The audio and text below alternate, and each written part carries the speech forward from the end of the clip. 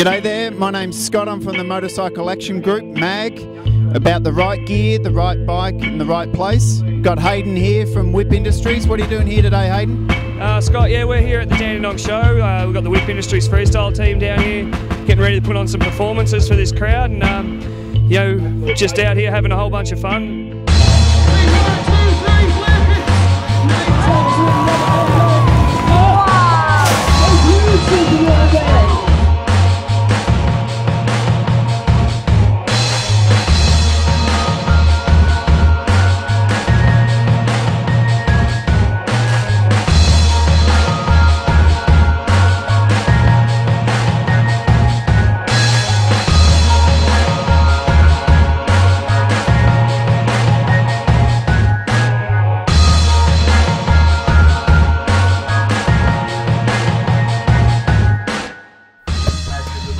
Travis from the Whip Industries Freestyle Mini Bike team. We're here today getting ready for performance. I'm just about to get ready and get geared up.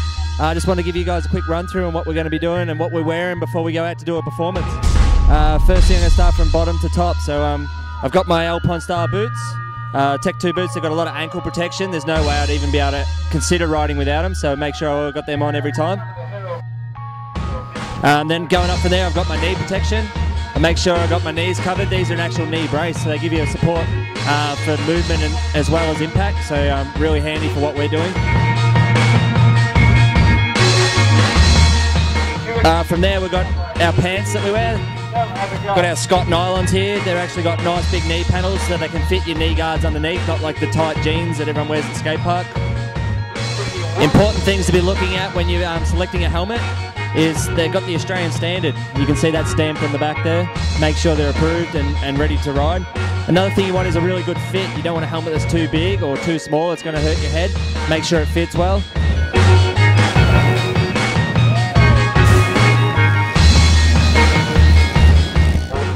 When getting a goggle to go riding, it's important to make sure that it fits your face and fits your helmet well and that um, the lens isn't too scratched up. You want to be able to see where you're going. It's important to be able to see, but also have your eyes protected.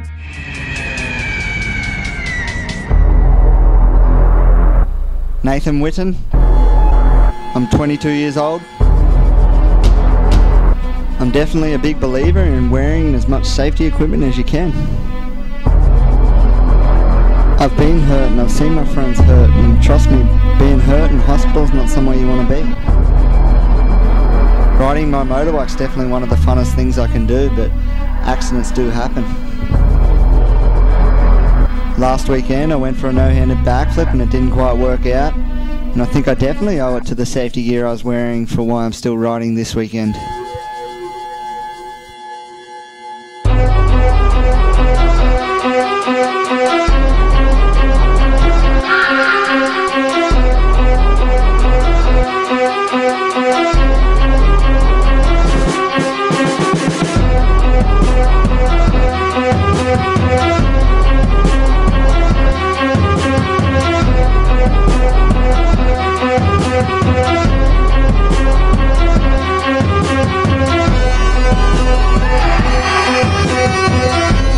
Uh, I'm here with Jordan Ives, uh, Whip Industries team rider.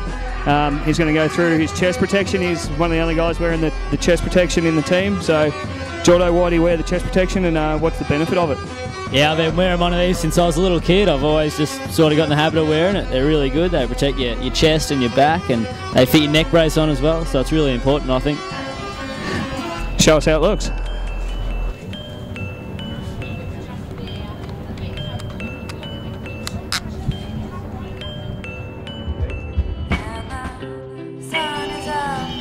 We're here getting ready for one of our performances. Uh, we're just going to go catch up with Hayes. I see him over there working on the bikes. Follow me over. How you going there, Hayes? We just spotted you over from over the tent there. You're over here getting the bikes ready. Tell us what's going on. Um, you know, it's, a, it's an important part of the bikes. You know, they've got the lace spoke wheels, so you know, after every couple of rides or every ride, you know, they should check check how loose their spokes are and you know tighten them up, nip them up, or else they could pull through, and and that can end pretty catastrophically.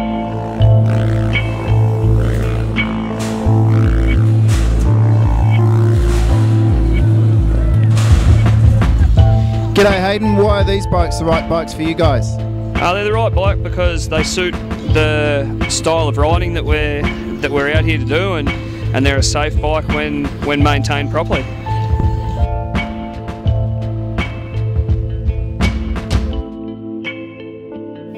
Hey, I'm Jake Spooner. Uh, the new KLX 110Ls, um, 2012 models, going real good for us this year. If your bike can't handle the type of riding you're doing, it can be very dangerous. Uh, brakes, I like to check my brakes just to make sure you can always stop in time. I like to check the tension of my chain just to make sure it won't fall off while riding.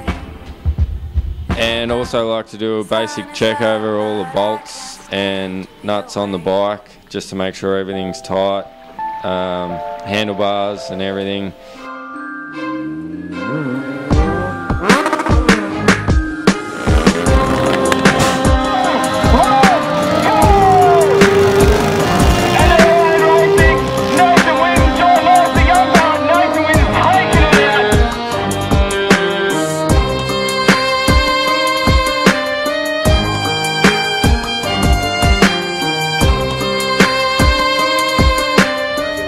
So Hayden, what, what did you have to do to get permits for a show like this?